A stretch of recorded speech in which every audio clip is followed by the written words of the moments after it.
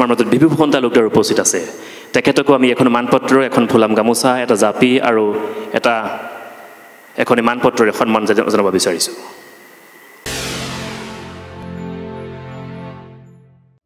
সমাজৰ হকে কাম কৰিবলৈ এটা প্ৰতিশ্ৰুতিবদ্ধ আৰু আনৰ বাবে সমৰ্পিত মন লাগে।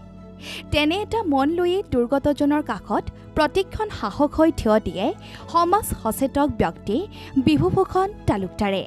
বৈচিত্ৰ্যৰ মাজত ঐক্যৰ প্ৰতীক তন্ত্ৰ শংকৰা গাঁৱত জন্মগ্ৰহণ কৰা তালুকদাৰে নিজৰ কামৰ জৰিয়তে ঠাইখনলৈ গৌৰৱ কঢ়িয়াই আনিবলৈ সক্ষম হৈছিল। দুৰ্গতজনৰ কাষত সাহস হৈ থিয় হোৱাৰ লগতে নিজা উদ্যোগত ৰাজহুৱা পৰিবহণৰ বাবে পথ নিৰ্মাণ কৰি অজস্ৰ লোকৰ যাতায়ত সহজ কৰি তুলিছে এইগৰাকী অসম সন্তানে। নিজা উদ্যোগত তেখেতে ছাত্ৰ ছাত্ৰীসকলৰ বাবে সুবিধা হোৱাকৈ নিৰ্মাণ কৰি দিছে বিদ্যালয়ৰ শ্ৰেণীকোঠাও। Bibhubhushan তালুকদাৰলৈ personality of the year two thousand twenty থ্ৰীৰ বঁটা প্ৰদান কৰিবলৈ পাই আমি অত্যন্ত সুখী। মই তেখেতক এখনি ফুলাম গামোচা জাপি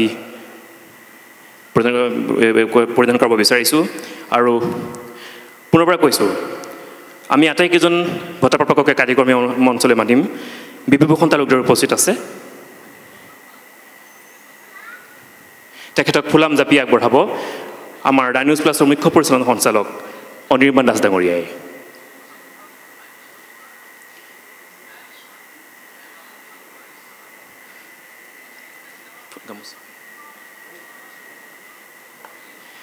জাপি আগবঢ়াব।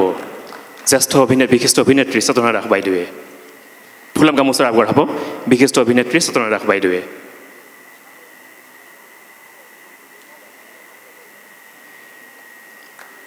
মেমেণ্টো আগবঢ়াব অসম চৰকাৰৰ জ্যেষ্ঠ মন্ত্ৰী সঞ্জয় কিষাণ ডাঙৰীয়াই।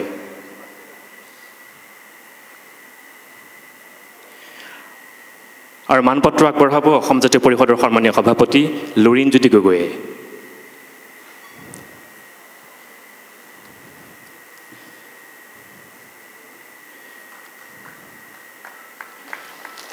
মই বিভূভূষণ তালুকদাৰক প্ৰেক্ষাগৃহৰ আসন গ্ৰহণ কৰিবলৈ অনুৰোধ জনাইছোঁ।